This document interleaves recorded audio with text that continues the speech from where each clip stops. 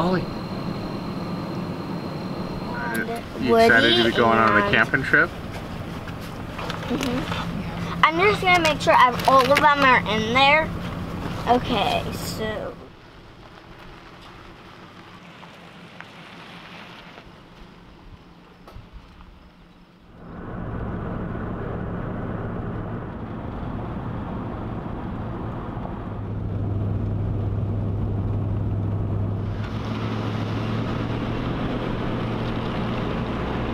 This is the first inaugural trip of the travel trailer, and everything so far is going pretty well. Um, the trailer pulls really nicely, uh, so I guess I got that one right.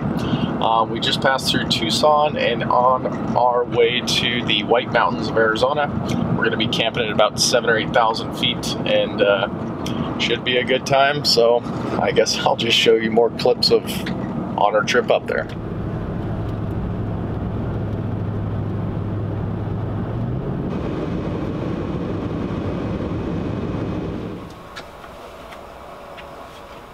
Olive, are we gonna go camping? All right, so right now we're in Globe, Arizona, and this is pretty much the last stop that you can get fuel, food, and take a bathroom break before you hit the Salt River Canyon. It's not a huge canyon, but it definitely is a canyon where you want to have trailer brakes.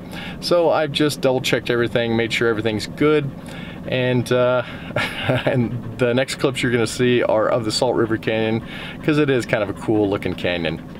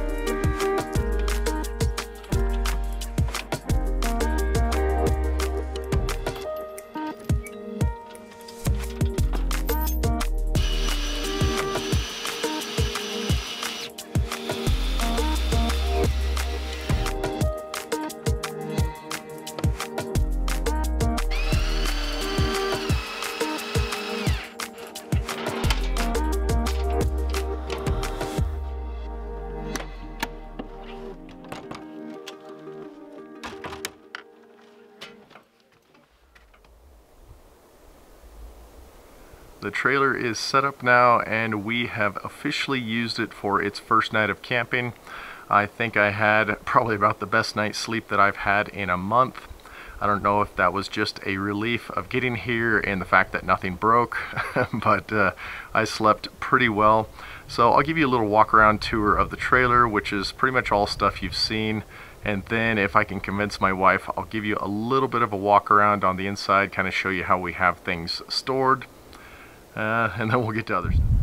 A little bit of background on the area we are camping at. This is the Apache Sitgreaves National Forest in the White Mountains of Arizona, and we are just off of one of the Forest Service roads south of Buffalo Crossing by the East Fork of the Black River. Uh, so anyway, with the trailer being set up, it's all stuff you guys have seen. You saw me put the uh, stabilizers down, and then on the other side we just uh, dug a little bit of hole so that we could level it um, left to right. And then obviously I use the tongue jack uh, to get it level front to back. And I don't have it quite exactly level as I like it sloped just about an inch or two this way so that all the water runs off the roof. Um, if you follow the build, you obviously know it is a flat roof, so Um, I kind of knew that going into it that I would just have to uh, cognizantly, I don't even know if that's a word, uh, but just be a little mindful when I set up so that the water would flow off the front. This homemade awning and rock guard, which I showed at the very end of the solar video, will eventually get a piece of aluminum trim right above it so that when all that water is running off, it'll be able to be shed to the sides uh, versus going into the hinge area. So right now it's not really waterproofing anything, just kind of keeping shade out.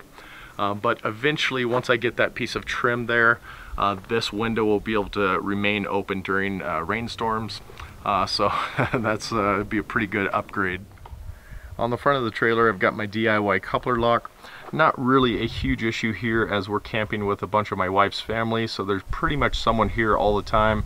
But I figured I'd just get in the habit of putting that on for when we do some longer road trips in areas where we are not going to be with family. And then the next thing I'll show you is the solar setup. At this point, the solar and 12 volt battery setup has been in continuous operation for over three days now, and everything seems to be operating as it should. What I'm finding is that throughout the night the battery is drawn down just a little bit, mostly by the 12 volt Dometic cooler. And in the morning I see the charge controller reading a bulk charge just for a couple of hours. And then for the rest of the day it is in a float charge. So what that says to me is that uh, the solar is able to keep up with everything that's being put on it and the lithium RELiON battery is able to store more than enough energy to run that cooler and lights throughout the night and not be drawn down too much. Eventually I am going to be installing a battery fuel gauge or as a kind of a battery monitor so I can get a more accurate reading on how much this is drawn down and when I do that I'll definitely give you guys an update. And right now I'm going to show you how I can check on the solar panels with a cool little ladder I got off of Amazon.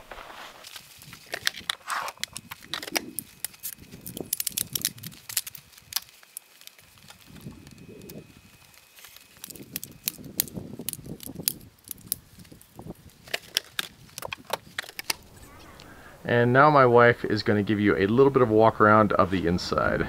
All right, come on in.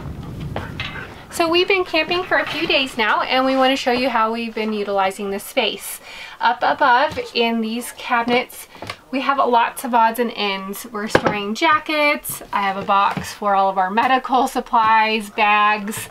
Um, on this side I've got lots of things like crafts and magazines and again just extra all the kids stuff all the kids stuff up here um, below our dinette. We're storing our shoes. I have a bag of games here.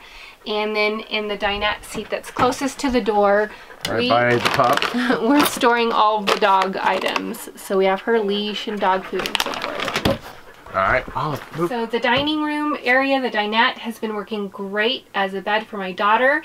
Uh, when she wakes up in the morning, we simply roll up her bedding and store it in the back and put the table back up and it's just been functioning wonderfully. Once we arrived, I pulled out some of our lighter items like Kleenex and napkins and dish towels and I'm storing them up here on this shelf. And in the kitchen, all the overhead cabinets are storing food items for us while we're camping. They were not necessarily stored up there during the travel process, but once we got here, we stocked the shelves. Um, here at the kitchen sink, that's the next project Joe's going to have working on uh, functional water and that'll happen down here under the, the kitchen sink. Okay. All the drawers we have our lockable with the child lock, so during travel, we can lock them and they won't open. Okay, so see how it's locked right now? You can't pull it out? Well, you're going to put this magnet right here, and it opens. Nice. This is a little lock here. Okay, so in the top drawer, I'm storing things like my spices and all my kitchen type utensils. The second drawer down currently, I have things like our mugs and plates, bowls. Eventually, this third drawer down, we plan to have our camp stove. Right now, I'm just using it as a handy um, storage for snacks where our daughter can come and grab a snack easily. And then down here at the bottom, I'm storing all of my larger um, kitchen items that won't necessarily fit above In the fancy cardboard box. in the fancy cardboard box so that I don't scratch when we're traveling. And again, they all lock for track. We have the bed platform.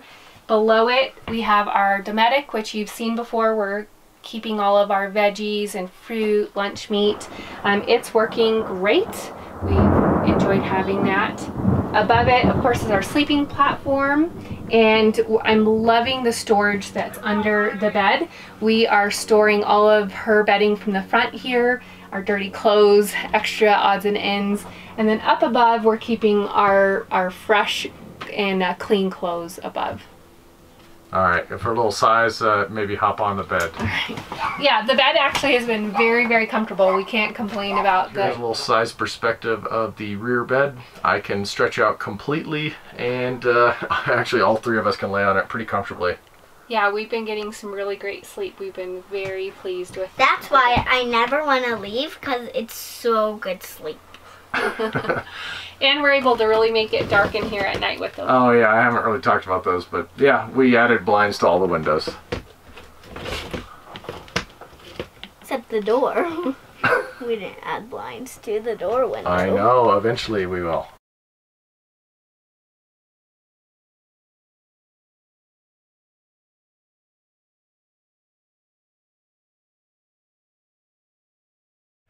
If you guys watched our camping video from a couple of years ago, you'll know that one of the things we like to do up in the White Mountains of Arizona is look for wild strawberries and raspberries.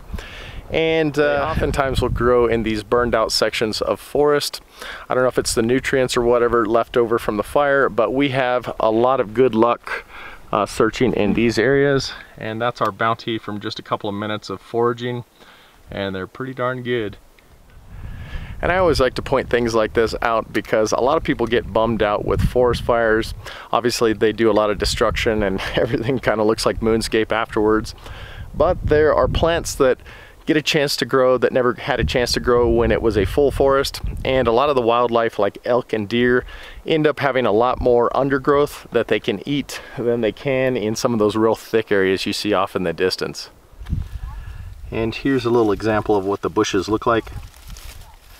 There's a few raspberries on it, just like that.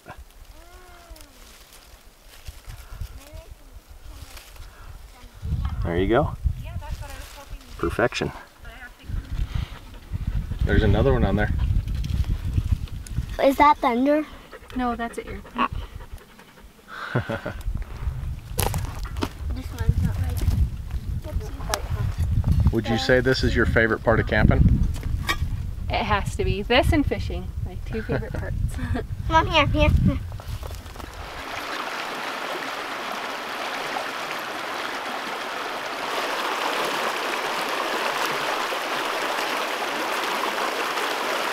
Oh, I got this. Wow! Yeah. nice. I got one. A Ollie. Ollie, good girl. Marley, do you see the rams? Josh too. That's a pretty rare sight.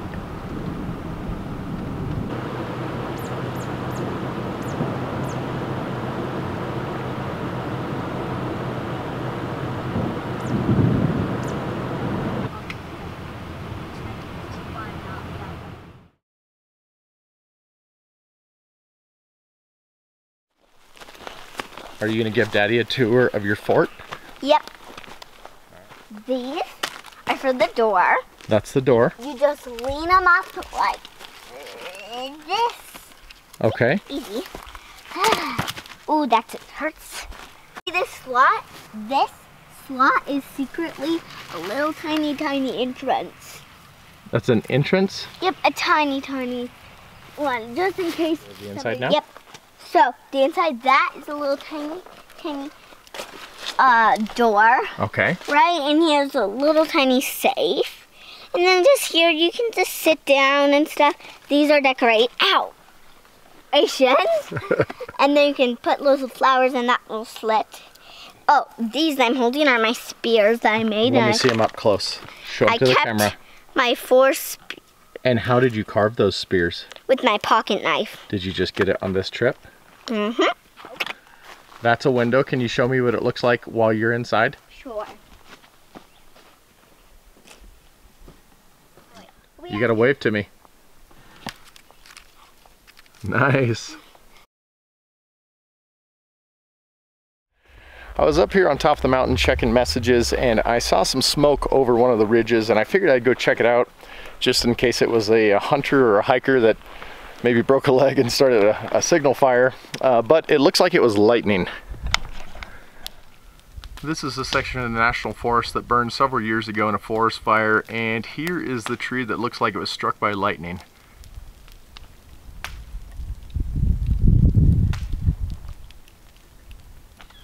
I'm not going to get too close to this thing because it is ready to fall. Um, but uh, next time I come up here, I'm just going to monitor this. We got about two inches of rain last night, so I'm not too concerned with uh, this going anywhere. But uh, definitely something to be concerned about, especially in the western forests. And here is just another view of it.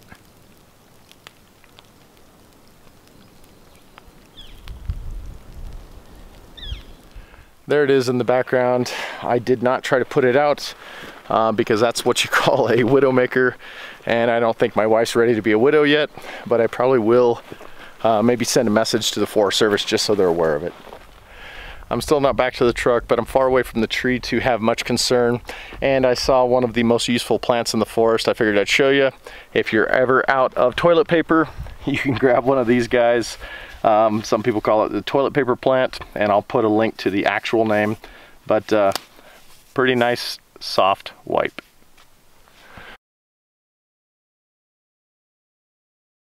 Given the rules for golf, So the rules are this is a par three course. Every hole is a par three. And uh, you hit it where it lies. It doesn't matter where it lies. And to be in the hole, you have to be within the length of the club. Length of the club, you're in. All right, and Les right now holds the course record. And all that is the course. Oh, yeah. You're up with me, Joe. Looks like I'm going back even. All right, I'm still par.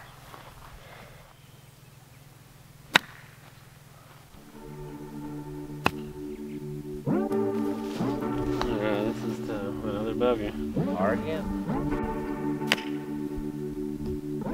Oh,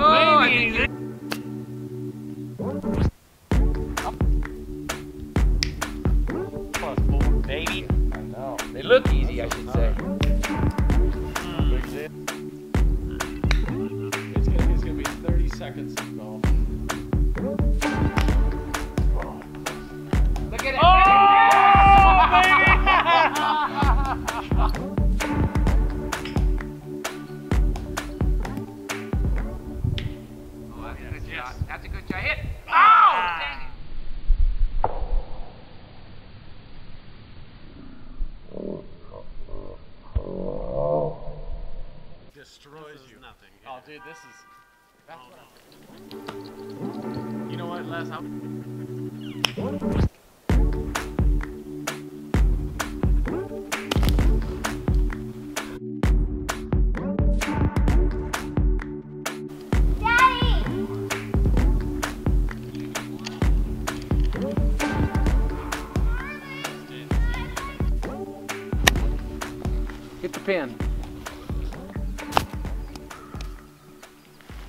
Is it in? Almost.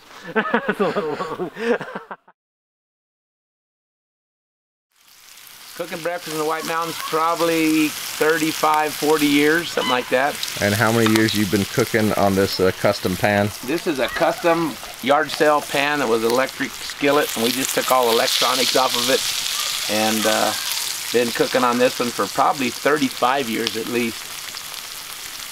And uh, still the same as the day we started it. I built the handles for it, took the plastic handles off, and uh, it works really good.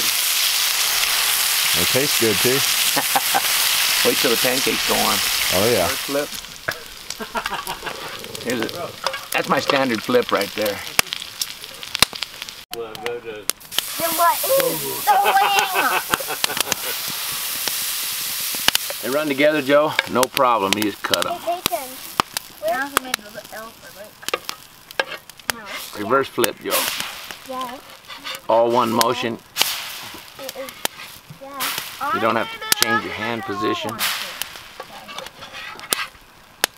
Done. Beautiful. Such a good camping dog. That's very true. What is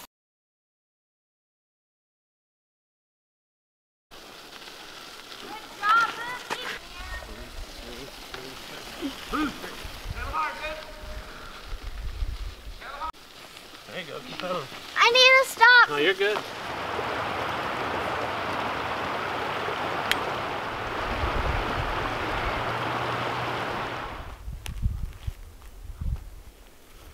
Are these caves pretty cool? Yeah. I can't do it. Try it. I was just a jump, Daddy. That is actually really fun. this will look so beautiful in it. I love it, Mom. Thank. Aren't they pretty? That's a really nice uh-huh. bouquet. I know. These are really If I was to get married again outside, I would consider a wildflower bloom. Well, I hope you never do. Unless it's to me. Walk fast. I'm uh, just gonna let it uh, go. Yeah, fast and walk, fast and walk. What do I'm gonna let my ladybug friend go. Okay. Watch. Or he just likes to stay with me. Maybe give him a little blow. He likes it. I'm just gonna let him. He's kind of climbing up my sleeve, thinking it's grass. Okay. Maybe I should just set him on the plant. Good. Oh. I think that would be good.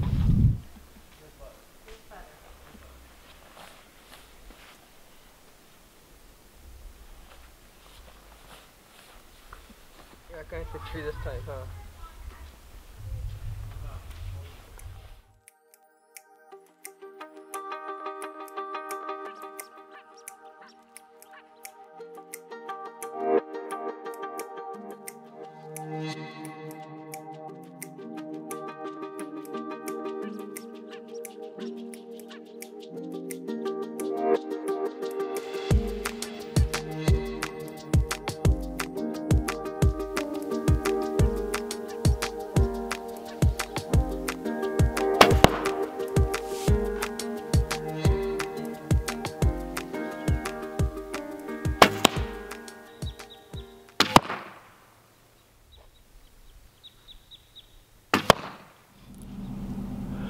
All right, guys, that's pretty much it for this trip. Overall, it was a huge success. Uh, today is our last day camping, and we are heading uh, out of the National Forest on our way home. Uh, this will probably be the last trip you see, or the last video you see on the tr uh, travel trailer for at least a couple months, and then after a couple months of doing other things, I might get back to doing some of the upgrades. And uh, anyway, check me out on Instagram if you like these videos. Give it a thumbs up. And uh, do you girls have anything to say? I don't think so. We'll see you later. Bye. Bye. Bye.